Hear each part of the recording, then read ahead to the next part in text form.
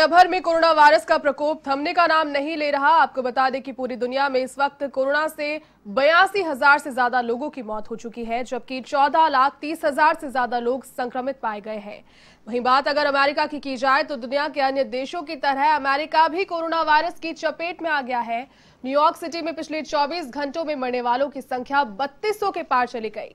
Corona से मरने वालों का यह आंकड़ा वर्ल्ड ट्रेड सेंटर पर हुए हमले में मरने वालों की संख्या से ज़्यादा है। आपको बता दें कि न्यूयॉर्क में कोरोना वायरस के मरीजों की संख्या लगातार बढ़ती जा रही है और लगातार बढ़ती हुई तादाद को देखते हुए लॉकडाउन की मियाद उनतीस अप्रैल तक वहाँ के लिए बढ़ा दी गई है। न्यूयॉर्क के गवर्नर एंड्रू कुमो ने इसकी घोषणा भी कर दी है। न्यूयॉर्क, अमेरिका में कोरोना वायरस का फ़िलहाल केंद्र बना हुआ है। यहाँ सबसे ज़्यादा मरीज़ अभी तक सामने आए और मृतकों की संख्या भी दिनों दिन बढ़ रही है। जॉन हॉपकिंस यूनिवर्सिटी के आंकड़ों के मुताबिक अमेरिका में कोरोना वायरस के तीन लाख अट्ठानवे हज़ार सात पुष्ट मामले अभी तक सामने आ गए हैं।